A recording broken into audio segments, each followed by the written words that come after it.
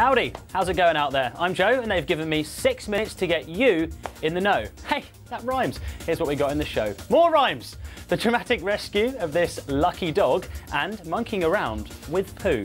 Stay tuned for that one. Last up to the unusual way that zookeepers in Kenya are looking after a monkey. Wildlife workers have had to come up with a really weird and slightly disgusting way to keep a baby monkey happy. Getting to know you, getting to know all.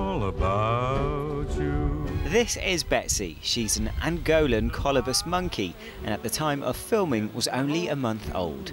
Betsy was orphaned and found in a hotel on the south coast of Kenya. The manager phoned the Colobus Trust who took her in. But they had a problem as no one had managed to successfully hand rear this type of monkey. Their stomachs are very sensitive and they can get really ill without the right sort of bacteria.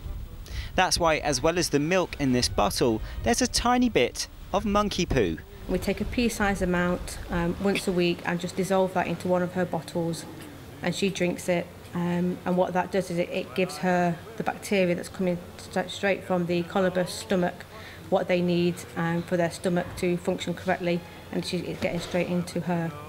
So it's quite a, it's quite a strange concept feeding a, a monkey its own food but it it's seems to have made a difference.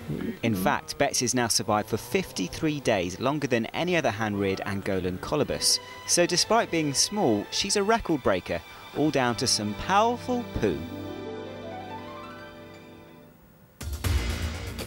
Oh, sorry, you caught me just having some of my monkey poo. Only joking, it's just water.